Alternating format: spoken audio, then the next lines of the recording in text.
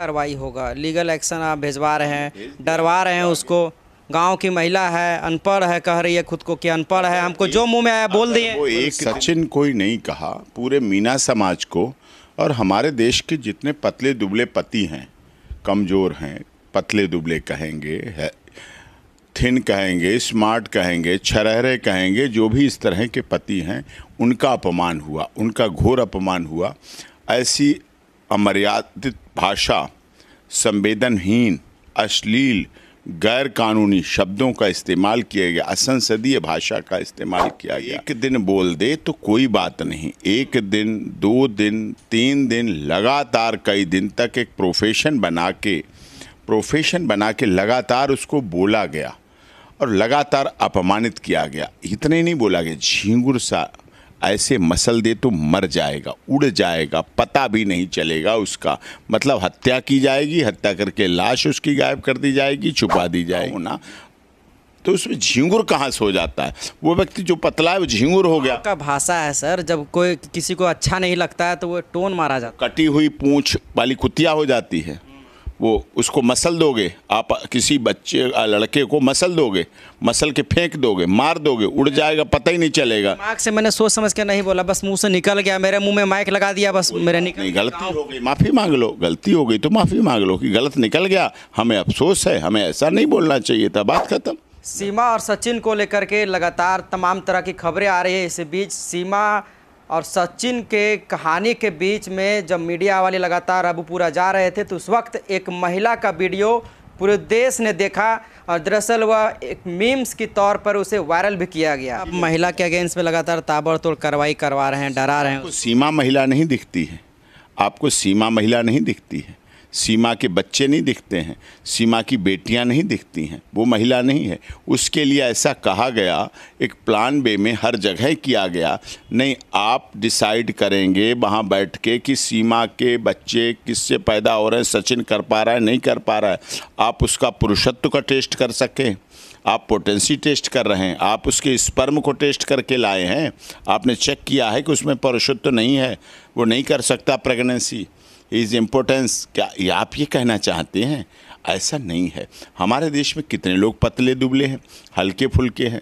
Doctor कहते हैं, सौ रोगों की दवा हल्का होना शरीर वज़न वज़न अधिक, सौ रोग आपको आ जाएँगे। कोई थिन, स्लिम, स्मार्ट कहलाना पसंद करता है, कोई जिम जाता है, कोई योगा जाता है, कोई एक्सरसाइज करता है, कोई पार्क में जाता है, कोई साइकिलिंग करता है, कोई स्विमिंग करता है, सब अपने अपने तरह से हल्के वज़न करने के लिए लगते हैं। पतला होना, हल्का होना तो उसमें झींगुर कहाँ से हो जाता है? वो व्यक्ति जो पतला है वो झींगुर हो गया। का भाषा है सर। जब कोई किसी को अच्छा नहीं लगता है तो वो टोन मारा जाता कटी हुई पूंछ वाली कुतिया हो जाती है। वो उसको मसल दोगे। आप किसी बच्चे लड़के को मसल दोगे। मसल के फेंक दोगे मार दोगे। उड़ जाएगा पता ही नहीं चलेगा। दिमाग से मैंने सोच समझ के नहीं बोला। बस मुँह से निकल गया। मेरे मुँह में माइक लगा दिया बस मेरे निकल नहीं गलती हो गई। माफ़ी मांग लो। गलती हो गई तो माफ़ी मांग लो कि गलत निकल गया। हमें अफसोस है हमें ऐसा नहीं बोलना चाहिए था। बात खत्म। गलती हो गई माफ़ी मांग लो बात खत्म। फांसी होगा तो देख लें फांसी होगी नहीं इसीलिए वो कह रही हैं फांसी होगी नहीं लेकिन लोग इस देश के जान गए हैं कि ऐसी महिलाएँ कैसे समाज को बांटने का काम करती हैं, कैसे समाज को बर्बाद करने का काम करती हैं, कैसे पुरुषों के लिए गलत भाव, गलत विचारधारा और इस तरह की भावना रखती हैं, इस देश के लोग जान गए, लोग समझ गए।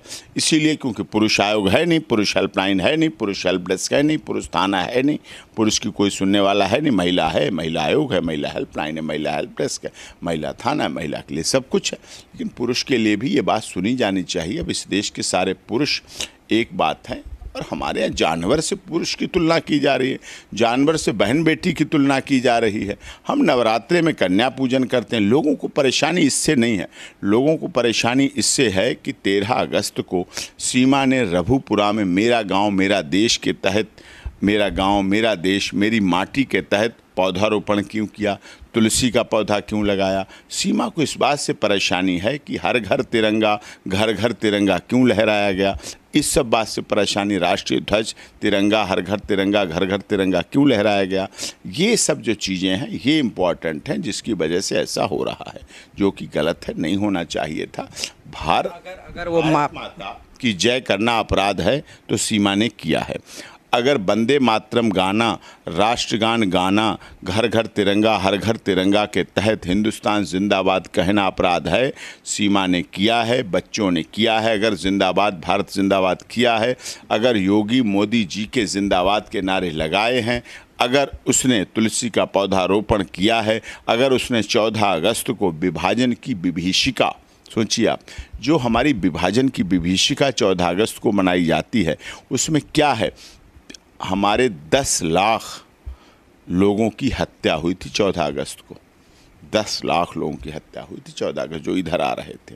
सोचिए आप, गाड़ियाँ भर दी गई लाशों से, रोडें लाशों से पट गईं, तीस लाख घर बर्बाद हुए। जब सब कुछ ऐसा हुआ ऐसा हुआ तो फिर ये हुआ। इसलिए से जो विभीषण की, विभाजन की विभीषिका मनाना गलत है। नेताजी सुभाष चंद्र बोस, चंद्रशेखर आज़ाद, राम प्रसाद बिस्मिल, रोशन सिंह, अशफाक उल्ला का जन्मदिन मनाना गलत है तो गलत किया कौन कह सकता है? हम सीता सावित्री, गार्गी, अपाला, अनुसुईया, की रजिया सुल्ताना, पद्मावत, हाड़ा रानी, झांसी की रानी, लक्ष्मीबाई की जीवंतता के साथ जीते हैं। और सीमा, सचिन मीना ने, सचिन मीना तो यहाँ का मूल निवासी है। रह रहा है अपने माता पिता बच्चों के साथ। रह रहा लेकिन उस पर ऐसे आरोप लगाना, गरीब है, सूखा है, ये ऐसे दिखता है शकल नहीं, सूरत नहीं तो क्या जिनकी शकल नहीं, सूरत नहीं है, या विकलांग हैं, या हैंडीकैप हैं, या दिव्यांग हैं, या किसी मरीज़ मरीज़ मर्ज से प्रेरित हैं, अब थायराइड वाले का वेट बढ़ जाता है, क्या करोगे आप? अब उसे तो रहने का अधिकार ही नहीं आपके हिसाब से। सूखा रोग वाले कंकड़ हो जाता है बिल्कुल हड्डी हड्डी रह जाती तो आप तो कहोगे उसे रखोगे नहीं।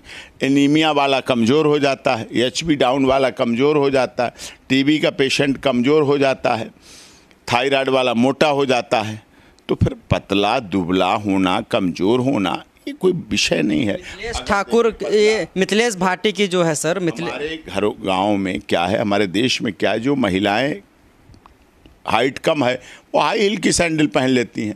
जिन पुरुषों की हाइट अपनी पत्नी की तुलना में कम है, वो हाई हील के जूते पहन लेते हैं। जिनकी ज़्यादा हाइट है अपने पति या पत्नी की तुलना में, वो स्लीपर पतले एकदम पहन लेते हैं। ढूंढ लेते हैं, जूते वाली दुकान पर सब तरह के मिलते हैं।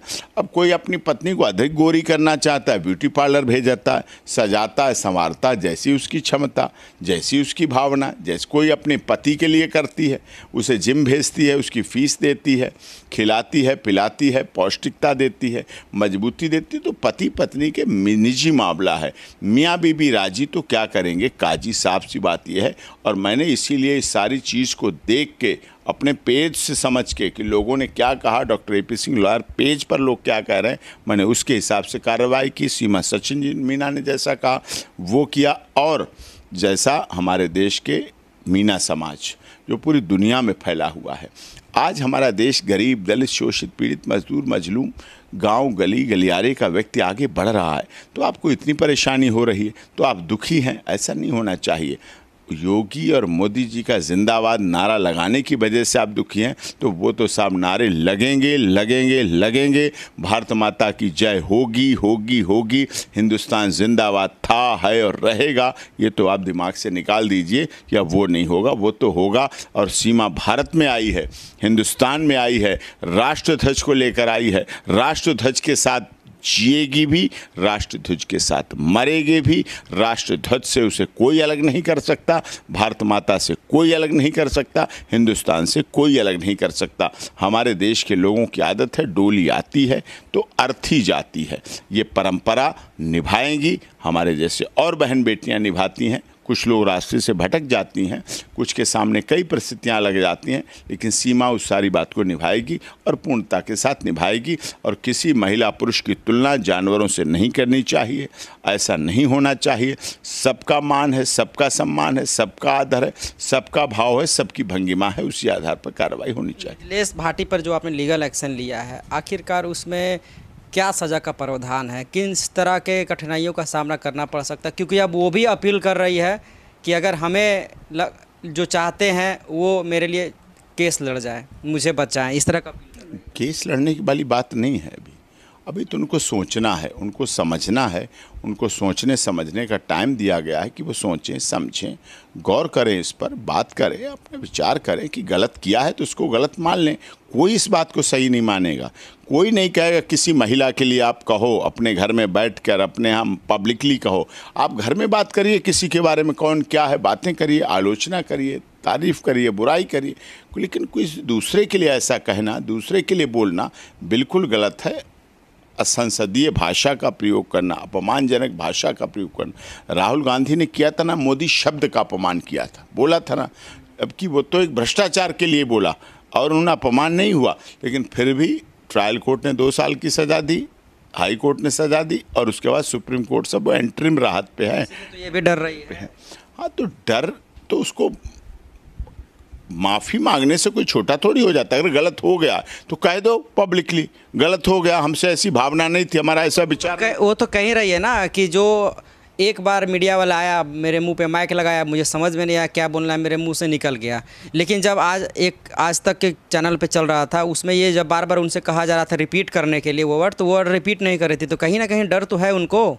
तो अब नहीं रिपीट कर रहे हैं तो अच्छी बात है नहीं रिपीट कर रहे हैं तो अच्छी बात है बदलाव है अगर अगर ये मिथिलेश भाटी और जो गीता भाटी है वो माफ़ी मांग ले तो क्या डॉक्टर ए पी सिंह माफ़ कर दें हाँ बिल्कुल माफ़ माफ़ी से मांगने से वाले से बड़ा कोई नहीं होता। माफ़ी बड़ा अगर गलती हुई है एहसास हुआ है उन्हें गलती का एहसास हुआ है माफ़ कर ले हमें कोई आपत्ति नहीं।